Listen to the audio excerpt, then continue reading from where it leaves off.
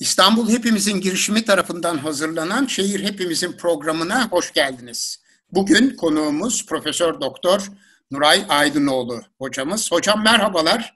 Merhabalar. Uzun bir aralıktan sonra tekrar buluştuk. Evet. İkimiz de evlerimizdeyiz. Uzaktan e, bu programın e, kaydını Ali Vatansever arkadaşımız yapıyor. Yani evet. perde gerisinde de e, Ali arkadaşımız var. Ona da şimdiden çok teşekkür ederiz. Çünkü bu pandemi döneminde programlarımızın devamlılığını e, uzaktan kaydederek ve sonrasında da Medyaskop'taki arkadaşlarımıza göndererek Ali e, halletti. Çok çok teşekkür ediyoruz kendisine.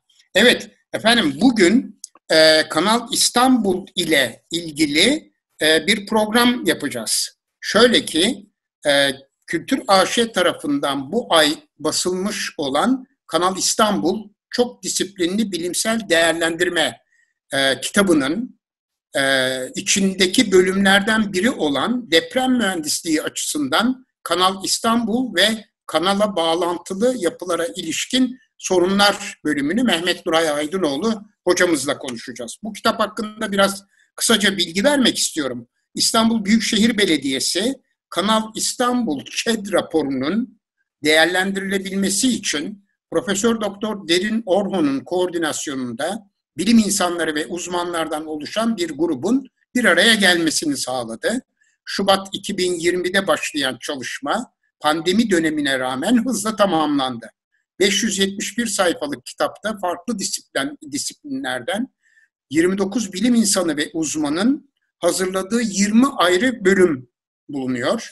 Gelecek programlarda da diğer bölümler üzerinde duracağız. Ama bugün biraz önce de söylediğim gibi deprem mühendisliği açısından Kanal İstanbul ve kanala bağlantılı yapılara ilişkin sorunlar bölümünü Nuray Hocam'la birlikte konuşuyoruz. Hocam bu e, bilgiye ilave etmek istediğiniz bir e, husus var mı acaba? Evet. E, bugün sunacağımız e, bölüm e, ifade ettiğiniz gibi deprem mühendisliği açısından e, Kanal İstanbul'un değerlendirilmesini içeriyor. E, ben bu bölümü değerli arkadaşlarım Profesör Doktor Faruk Karadoğan ve Profesör Doktor Atilla Ansal ile birlikte hazırladım. Yani üçümüzün imzası var makalede. E, ve e, evet yani e, giriş olarak böyle. Evet. Evet. Ee, şimdi e, ben hemen ilk soruma geçmek istiyorum hocam. Siz diyorsunuz ki bu bölümde kanala bağlantılı yapılar. Evet. Nedir bu yapılar? Efendim, e, Kanal İstanbul yapısı e, çeşitli bölümlerden oluşuyor proje. E, tabii Kanal İstanbul'un e, projesinin ana yapısı kanalın kendisi. Yani bu bir zemin yapısı. Evet. İşte e, Marmara Denizi'nde Küçükçekmece Gölü'nden başlayarak Marmara Denizi'nin Küçükçekmece bağlantısından başlayarak e, Terkos Gölü ile e, Yeni Havaalanı arasından e, geçerek Karadeniz'e bağlanan 45 kilometrelik bir kanal. Bu bir zemin yapısı. Yani taban genişliği 275 metre, e, su yüksekliği 20,75 metre olan ve kenarında şevleri olan e, bir yapı. E, fakat buna bağlı olarak bir takım yapılar var tabii. Kanalla direkt olarak entegre olarak yapılacağı ifade edilen chat raporunda da bu şekilde belirtiliyor. İki tane liman var. Biri Marmara'da, e, Marmara girişinde kanalın. Biri de kuzeydeki çıkışında yani Karadeniz çıkışında iki tane liman var. Kanal e, esasen Küçükçekmece Gölü'nün içinden geçiyor. 10-11 kilometrelik bir bölümü orada. Bu gölün içinde bir yat limanı yapılacak.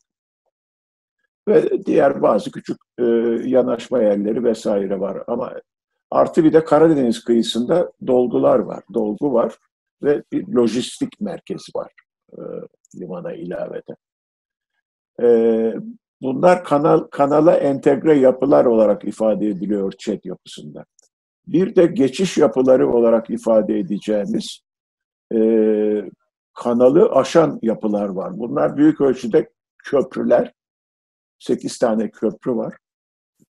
tüneller, üç tane tünel ve çok sayıda altyapı, tünel ve boru sistemleri e, yani. Dolayısıyla e, kanalla ilgili yapılar deyince bir kanal, ikincisi limanlar diyelim genel olarak. Üç tane liman, Karadeniz, Marmara ve Yat Limanı. Ondan sonra köprüler, yani bar, e, kanalı aşacak olan köprüler. Geçişleri bunlar, sağlayacak olan. Evet, sekiz tane bunlar. Üç tane e, ikisi metro, biri demir yolu tüneli olmak üzere üç tünel ve e, altyapı. Çok muhtelif e, altyapı. Bunlar nedir? İşte e, enerji nakil hatlarından başlayarak atık su, temiz su, doğalgaz e, hatları, e, başka unuttuğum var mı? Herhalde yok. E, telekomünikasyon hatları ve enerji hatları dediğim gibi. Tabii bunların sayısı çok fazla. Yani tam, tam ben de şimdi hatırlamıyorum. E, çünkü bu kanal İstanbul'u İstanbul'un e, yani güzergahı boyunca İstanbul'u iki parçaya ayırıyor. Yani biliyorsunuz bu kanalla Boğaziçi arası bir ada gibi oluyor. E, dolayısıyla bütün bağlantılar kesiliyor. Tabii muazzam bir e, faaliyet olacak bu bakımdan eğer yapılırsa. E, bütün e, altyapı yatı, şeyleri, bağlantıları kesilip kesildiği için yeniden yapılmak zorunda. Evet. Tam bir İstanbul Boğazı, ikinci bir İstanbul Boğazı gibi. Yani evet. e, izleyicilerimiz İstanbul Boğazı'nı gözlerinin önüne getirirlerse evet.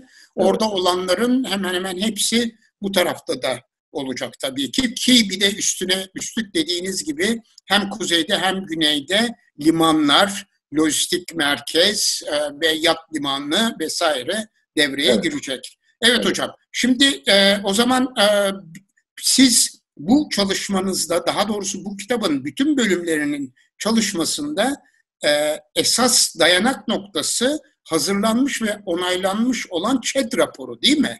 Evet efendim. Zaten elimizde bu projeyle ilgili olarak teknik bilgi veren tek doküman ÇED raporu.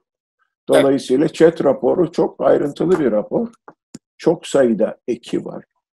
Aslında tabii bu ÇED raporu bu e, kanal için yapılmış olan e, bir proje çalışması var aslında.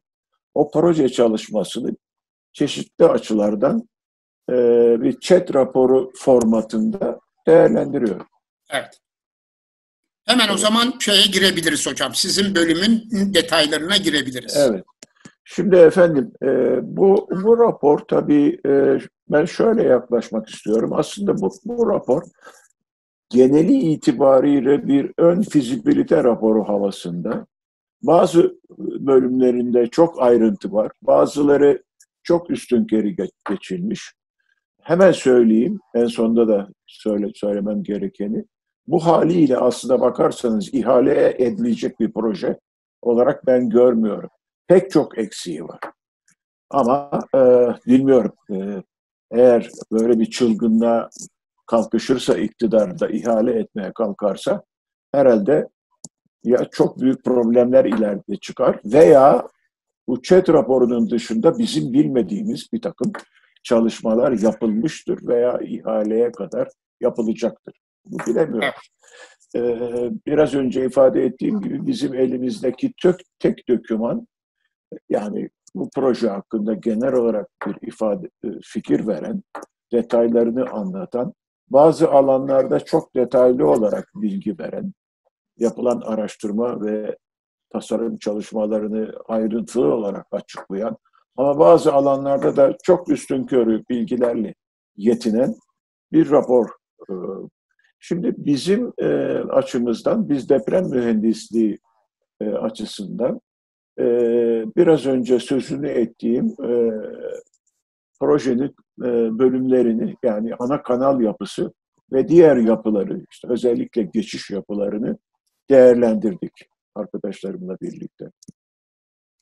Ve öncelikle kanaldan başlayayım. Kanal başta da ifade ettiğim gibi 45 kilometre uzunluğunda. Lütfen bu arada birinci görseli gösterebilir miyiz?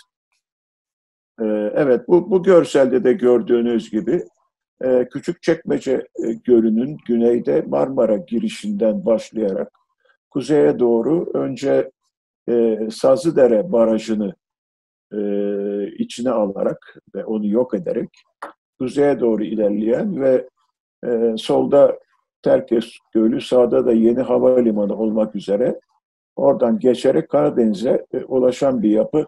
Bir sonraki slaytta e, belki biraz daha ayrıntı görebiliriz. Evet burada da gördüğünüz gibi güneyde aşağıda Marmara Denizi girişinde e, Küçükçekmece Gölü'nü görüyorsunuz. E, kanal güney kanal çizgisini de herhalde kırmızı çizgi olarak veya pembe çizgi olarak takip ediyorsunuz. Görüldüğü gibi kanal var. Küçükçekmece denizinin içinden geçtikten sonra ki bu takriben 11 kilometrelik bir bölüm. Ondan sonra e, karadan devam ederek o da 5 5 onda 6 kilometre e, Sazlıdere Barajı'nın halen mevcut olan Sazlıdere Baraj Gölü'nün güneyine geliyor. Ve e, Sazlıdere Barajı'nı e, bu kanal yok ediyor, yani iptal ediyor. E, Sazlıdere Barajı'nın, Göl Barajı'ndan devam ederek kuzeye doğru, e, sonra sağa doğru kıvrılarak, solda görüldüğü gibi Terkos Gölü var. Sağda ise burada gösterilmemiş ama e, bu eski bir harita herhalde. Hava alanı yapılmadan yapılmış bir harita. Hemen sağ tarafında Karadeniz kıyısına yakın e, havalimanı var, yeni havalimanı. Oradan e, Karadeniz'e geçiyor. E, evet. E, bu resimde ayrıca e, kuzeydeki e, kıs, kahverengi çizgilerle gösterilenler kuzeydeki liman ve dolgu sahalarını gösteriyor ve lojistik merkezi gösteriyor. Evet, Şimdi e, bir sonraki e, slayta lütfen. Evet, bu kanal dediğimiz böyle bir şey. E, tabanı 275 metre. E, mavi ile gösterilen su derinliği 20,75 metre, takriben 21 metre olan e, ve kenarında şevleri olan bir kanal. Bu şevlerin eğimleri zemin özelliklerine bağlı olarak değişiyor. Yani bire birden başlayarak bire ona kadar zayıf zeminlerde e, yani yatayda on, düşeyde bir olmak üzere çok yatık da olabiliyor. Tabii bu resimde de görüldüğü gibi yukarıya doğru da şevlerin e, devamları var. E, o da mevcut e, topografiye göre şekillenecek. Şimdi efendim bu kanalın deprem bakımından, deprem mühendisliği bakımından en önemli özelliklerinden biri. Bir kere şunu söyleyelim, tabii bu kanal özellikle güneydeki bölümü itibariyle deprem tehlikesi bakımından çok tehlikeli bir yerde bulunuyor. Yani bizim İstanbul için beklediğimiz 7 ve üstü moment büyüklüklü bir deprem, deprem e, büyük bir olasılıkla deprem jeologlarının ve sismologların tahminleri doğrultusunda bu kanalın Marmara e, Marmara girişine 11 kilometre mesafedeki fayda faydan ve o fayla ilişkili diğer fayların kırılmasıyla meydana gelecek. Dolayısıyla çok yakın yani deprem kaynağına özellikle güney kısmı çok yakın olan bir yapı e, tabii e, çok yüksek deprem ivmeleri var. E, bunlarla ilgili deprem tehlikesi analizleri yapılmış. E, bunlar e, deprem tehlikesi deyince biz deprem analizlerinde ve tasarımında dikkate alınacak yer ivmelerini ve spektral ivme dediğimiz bizim kullandığımız büyüklükleri anlarız. Bunları içeren bir rapor detaylı olarak hazırlanmış. Bu rapor esasen 2018'de yayınlanıp 2019'da yürürlüğe giren Türkiye deprem tehlikesi haritasıyla da uyumlu. O bakımdan bir problem yok. Ancak chat raporunda buna deprem tehlikesi raporu denmemiş, deprem riski raporu denmiş. Bu çok yanlış çünkü deprem riski başka bir şeydir. Deprem tehlikesi dediğimiz biraz önce belirttiğim gibi bizim tasarımda dikkate alacağımız ivme büyüklüklerini, en, en büyük yer ilmesi ve spektral ilmeleri veren rapordur. Bu rapor, e, bunlar raporda ayrıntılı olarak var. Ama bu bu büyüklükler yapı cinsinden bağımsızdır. Bunlar direkt olarak tehlikeyi ifade eder bize. E, deprem riski ise yapıya da bağlıdır. Hem deprem tehlikesine hem bu parametreler hem de aynı zamanda yapının hasar görebilme potansiyeline bağlıdır. Dolayısıyla yapıya bağlıdır. Şimdi e, dolayısıyla bir kere terminoloji bakımından ÇED raporunda yanlışlık var. Bu kadar önemli bir yapı için bu yanlışlık da pek kabul edilecek bir şey değil açıkçası. Yani ÇED raporunu düzenleyenlerin bu konuda ne kadar konudan uzak olduklarını da gösteren bir, bir detay. Önemli bir detay bence. E, şimdi e,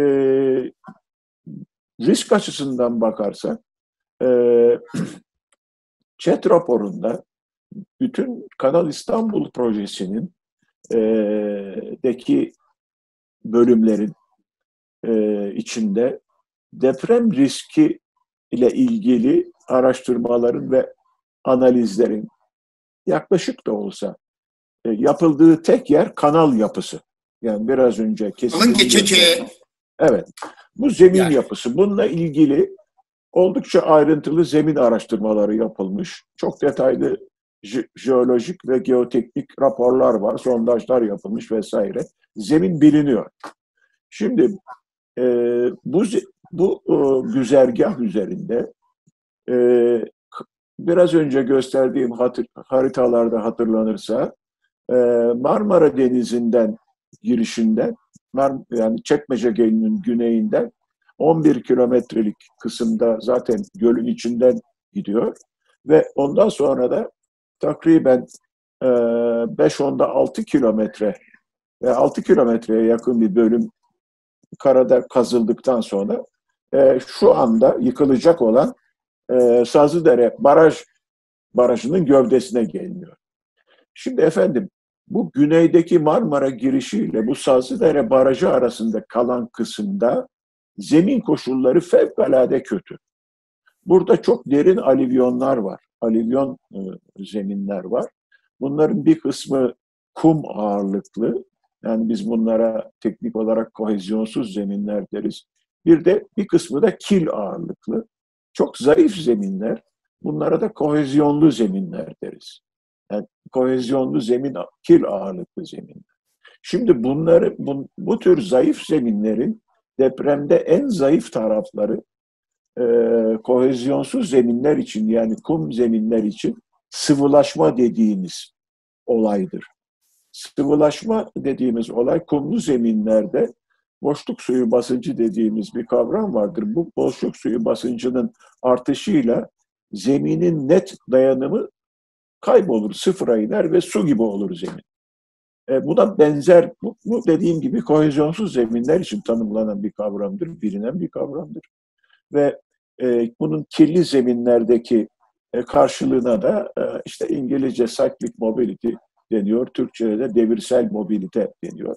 Bu da benzer, tabii aynı şey değil tıpatıp çünkü biri kirli zemin. Ama orada da yine mukavemetin kaybı söz konusu. Bu olaylar biliyorsunuz ülkemizde özellikle 99'da Adapazarı depremiyle zaten e, evet. bütün kamuoyunun dikkatine gelmiş bir e, olay. E, şimdi efendim bu o, bu konuda yani e, sıvılaşma ve devirsel mobilite analizleri e, bu chat raporunun 19. eki var. Bu biyoteknik analizlerle ilgili. Burada detaylı olarak yapılmış. Gerçi biraz yaklaşık yöntemler kullanılmış ama bir fikir veriyor. Ve sonuç olarak ve problemi de görebiliyorsunuz evet, o bölümlerde. Sonuç olarak dediğim 16 onda 2 kilometre toplam.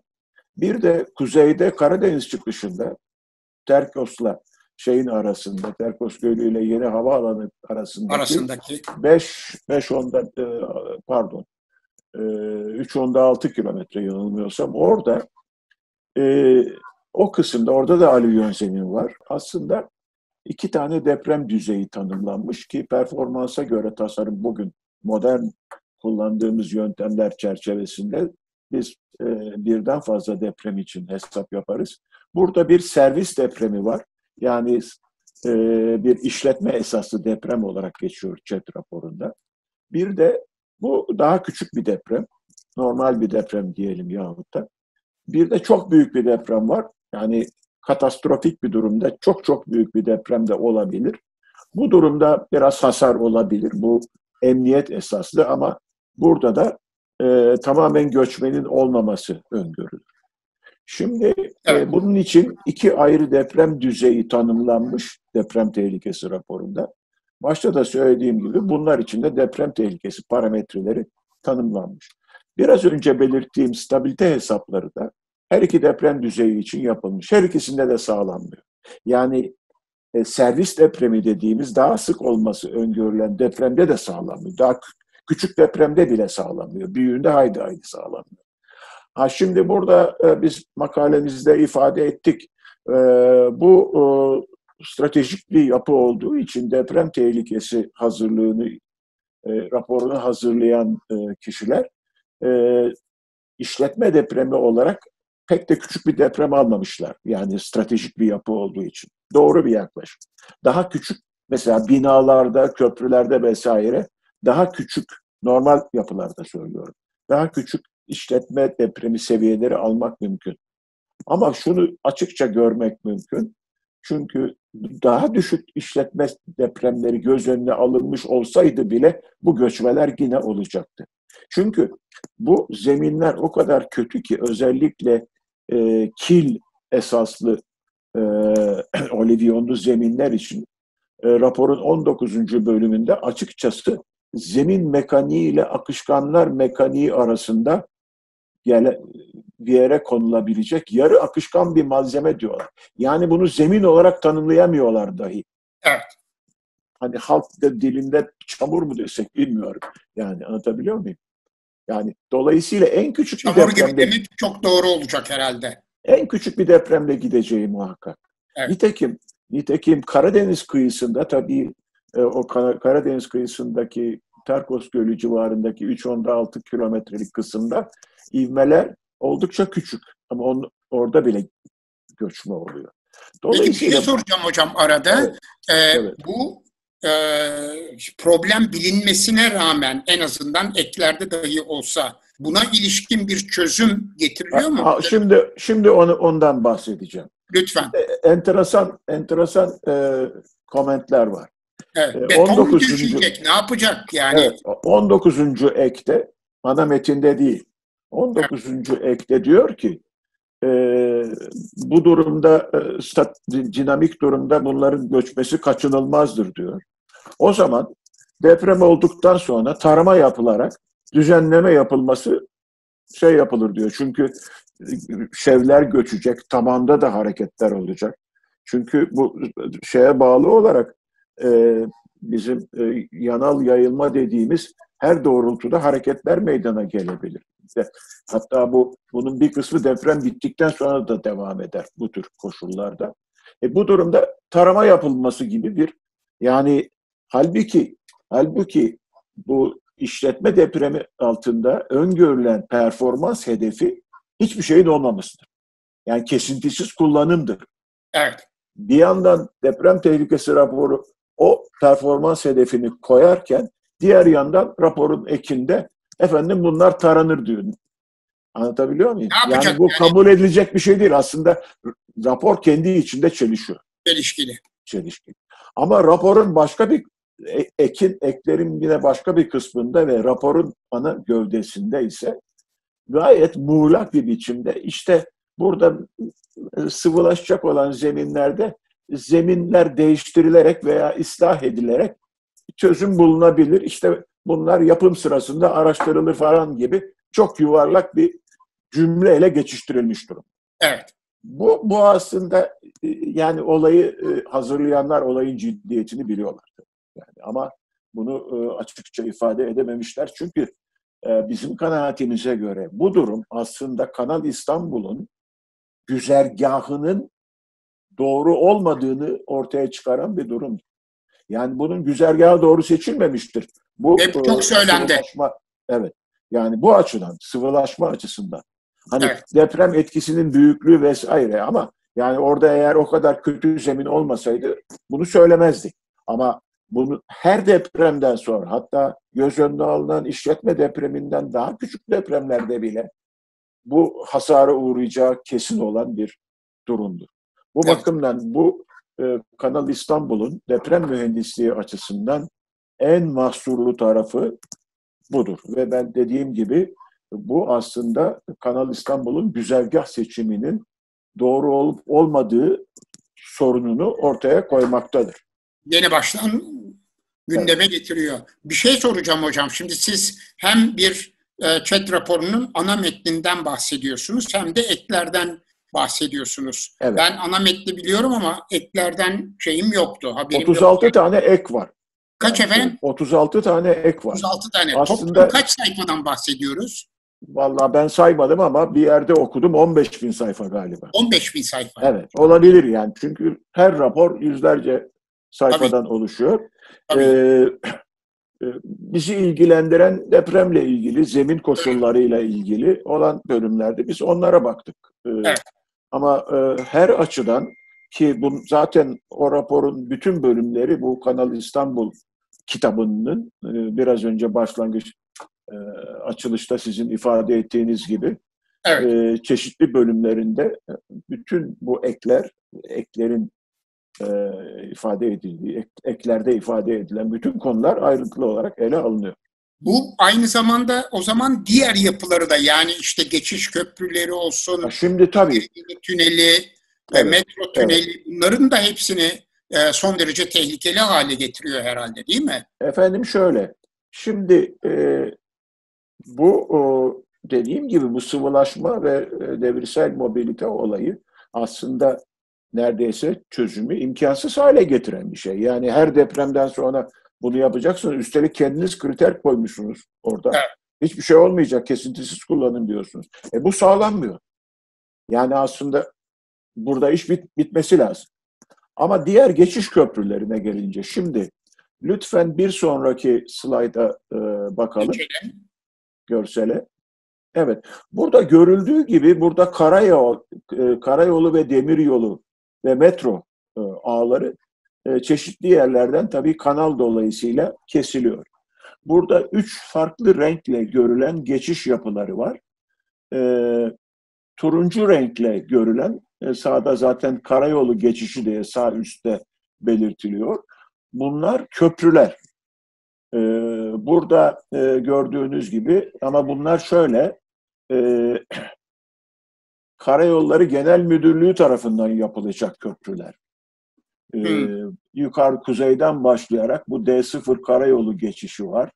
Ondan sonra Kuzey Marmara otoyolunun iki tane üst geçişi var. Bir kesim iki, bir de kesim yedi aşağıda. Tem otoyolunun üzerinden geçilecek ve en aşağıda da D100 veya bizim E5 dediğimiz e, yolun üzerinden geçen köprüler yapılacak. Bu, bu köprüler gördüğünüz gibi bunların sayısı 5. Ama bir de belediyenin yapacağı iki tane köprü var. Bunlar da e, mor renkli aşağıda. E, bir tanesi Küçükçekmece Avcılar Karayolu geçişi. Bir de e, Sazlı Bosna Karayolu geçişi biraz yukarıda. Bunları belediye yapacak. Dolayısıyla yedi tane köprü oluyor. Bir tane de e, bir tane de bir köprü daha var. O da e, hangisiydi ona bakıyorum. E, bir demiryolu köprüsü var. Evet. E, onunla birlikte e, efendim Halkalı konvansiyonel demiryolu hattı o mu acaba? O o o tünel efendim. O tünel. tünel. Evet. Bir tane daha olacak. Şimdi onu şey yapamadım. Neyse. Sekiz tane köprü var. Evet. Üç tane tünel var. Bunların iki tanesi e, metro tünelleri. Sol, solda altta görüyorsunuz. Bir tanesi Mahmut Bey Esenyurt. Diğeri ise Yeni Kapı Sefaköy. Beylikdüzü metro hatları. Ee, bir de beyazla gördüğünüz TCD'de halkalı konvansiyonel demiryolu hattı. Evet. Ee, evet, demin sözünü ettiğim karayolu köprüsü unuttuğum birinci hava alanı Halkalı hattı olması lazım. Evet, o da. Dolayısıyla sekiz tane köprü Üç tane tünel var. Bunlar evet. ulaşım yapıları. Yani kesilen. Bunların dışında çok sayıda başta da belirttiğim altyapı geçişleri var.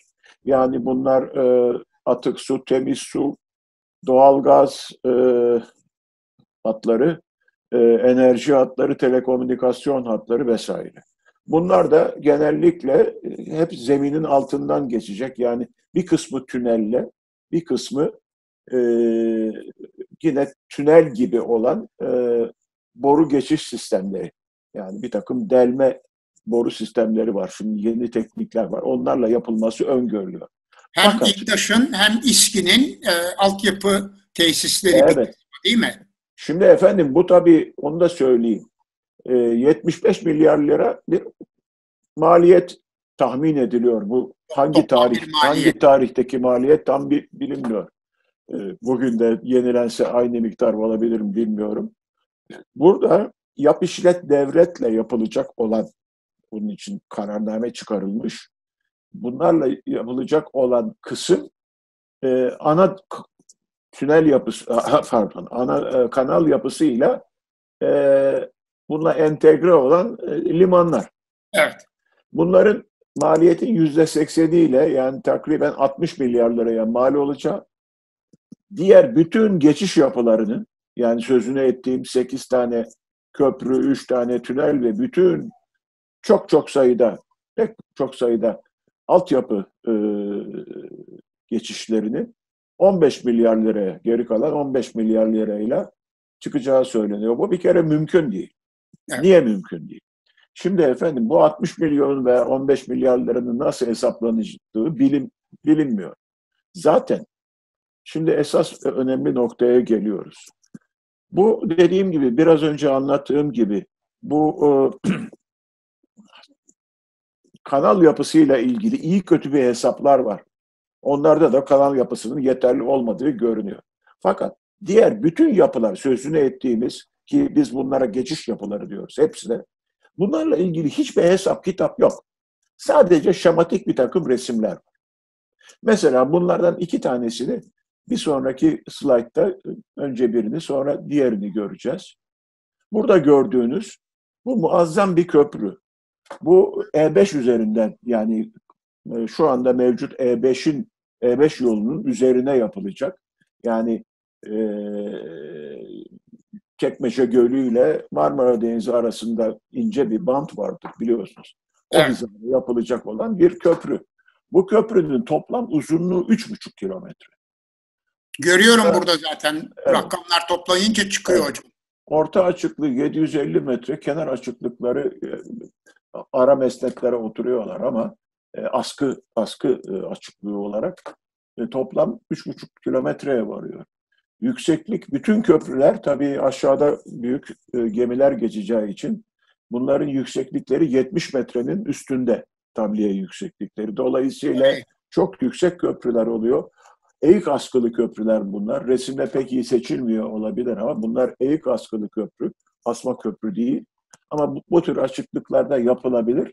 Ama onların da yüksek pilonları oluyor. Görüyorsunuz burada 218 metreye, 220 metreye kadar varan. E yani bunlar devasa yapılar. Fakat ilginç olanı mesela burada da görüldüğü gibi bu yapının ana pilonlarının yani ayaklarının temelleri biraz önce sözünü ettiğimiz o berbat zeminin içinde. Ve bunlar 50-60 metreye kadar kötü zemin gidiyor. Ondan sonra yavaş yavaş ilerliyor. Yani burada 60, 70, 80 belki de keson temel diye burada işaret edilmiş. Fakat e, Gürhan Bey bunlar tamamen şematik resimler. Bunlarla ilgili en ufak bir analiz yok. Bunlarla ilgili en ufak bir maliyet kaça çıkar, ne olur? Yani bunların maliyet 15 milyara çıkar ama bunlar bunlar devasa yapılar. Şu yapının e, yalnız kendisinin kaç milyara çıkacağı şimdi ben kesin bir şey söylemek istemiyorum ama bu sekiz tane köprü için bu işin uzmanı e, mühendislere danıştım. E, en az e, bunların e, 20 milyar lira tutabileceği ifade ediliyor arkadaşlar tarafından. Yalnız bu köprüler. Evet. Bilmiyorum. Tabii onlar da e, kabaca yani resimlere bakarak söylüyor. Sadece tane köprünün maliyeti yaklaşık Ama hiçbir şekilde kaldı ki üç, üç tane tünel var. Evet. Bakın bu köprülerin toplamı 13 13 onda 1 kilometre sanıyorum yani 8 tane köprü. Bir sonrakine geçelim bir slayda. Bu da mesela e, Tem'in üzerinden geçecek köprü. Yani e, Tem üzerinden. Bu da 2 kilometreyi aşıyor. E, evet. Bu yine evet. ayak yükseklikleri 220 kilometre. Orta açıklığı yine 750 metre olan. Yani bunlar birinci Boğaz Köprüsü'ne yakın mertebede köprüler aslında. Anlatabiliyor muyum? Ha, Orta açıklıkları o kadar olmasa bile işte ona, on, e, ona yakın sayılır. Bunlar devasa köprüler. Her biri her biri çok önemli köprü. Şimdi bundan diğerleri bunlardan biraz daha küçük ama hepsi hepsini toplarsanız toplam uzunlukları 13 kilometreden fazla. Üç tane tünel var. Fakat bu tüneller de bu kötü zeminlerin altındaki iyi zeminlere inmek zorunda kaldıklarından çok uzun oluyorlar. Çünkü bunlar demir yolu ve metro e, trenleri olduğu için bunlarda eğim kısıtlaması da vardır. Dolayısıyla 3 tane tünelin toplamı da 21 küsur kilometre. Sanıyorum 21.6 kilometre. Dolayısıyla bunlar muazzam yapılar. Bakın hani bir kanal uğruna neler yapılıyor. Bir kanal kanal yapacağız diye ki onda kişisel görüşüm olarak ifade etmeme izin verin. Kanal yapısı aslında bir rant yapısı. Başka hiçbir şey yok. Çıkış noktası rant. Maalesef. Emlak rantı. Hiçbir şey yok. Başka hiçbir, hiç, hiçbir şey yok. Bakın bu rantı elde etme uğruna katlanılan bunca zahmet, katlanılacak olan, harcanacak bunca servet milli gelire yazık bence. Yani bu evet. bu işin ama şimdi bunlar yapılmaz yapılar değil. Fakat burada da gördüğünüz gibi bu kötü zeminlerde bunların temelleri bile muazzam maliyet unsurudur. Biraz önce gösterdiğim şey dedi. 4-5 tane köprü hep bu kötü zeminden gidiyor. Çünkü köprülerin çoğu güneyde gösterdiğim gibi. Yani buralardan geçecek olan köprüler hep bu kötü zeminde temelleri oraya yapılmak zorunda. Bunlar bunların maliyetlerini tahmin etmek bile bu aşamada.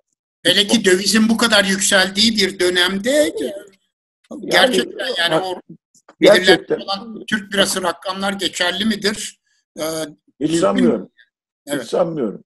Bir de hafriyat sorunu var değil mi hocam? Ciddi bir hafriyat var. Hatta e, bu kanal e, planlanana göre önce yapılmaya başlanacaktı. Buradan çıkartılan hafriyat götürülecekti. Üçüncü havaalanının dolgu alanlarında kullanılacaktı. İlk, ilk, ilk, ilk tasarım öyleydi. İlk Daha tasarım. hava meydanı yapılmadan önce. Evet, evet. Ama ondan sonra hava alanı yapıldıktan sonra e, hafriyatların e, Marmara Denizi çıkışında teşkil edilecek iki tane adaya, adada bu hafriyat dolgu, orada dolgu malzemesi olarak kullanılması evet. şey oldu. Ondan vazgeçildi daha sonra. İyi ki vazgeçildi çünkü o iki tane ada bir depremde tamamen sıvılaşmadan yok olurdu. Yok olurdu tabii. Bunun en güzel örneği 1995 Kobe depremidir. Kobe depreminde iki tane öyle ada vardı. Dolgu ile yapılmış. İkisi de neredeyse merhaba oldu. Bütün Daha liman, kalktı. bütün ortadan kalkmadıysa bile üstündeki bütün liman tesisleri yerle evet. bir oldu. Çünkü sıvılaşma oldu büyük ölçüde. Onlar da böyle dolgu malzemesi. Belgesellerde izledik hocam bütün evet. şeyler nasıl gidiyor. O... Ben gitmiştim depremden sonra bir seyahat olarak gittik. Gözümüzle gördük onları. Evet. Evet. Ee, daha son sonra vaz... Hocam son dakikalarımızda evet. e, bu e, özellikle doldurma alan ve onun üstünde yapılması planlanan limanlar meselesine de biraz değinebilir miyiz acaba? Evet, şimdi onlarla ilgili e, ayrıntılı bilgi içeren ayrı bölümler var. Dolayısıyla biz kendi makalemizde onlara çok ayrıntılı olarak girmedim. Yalnız evet. deprem mühendisliği açısından şunu söyleyebiliriz.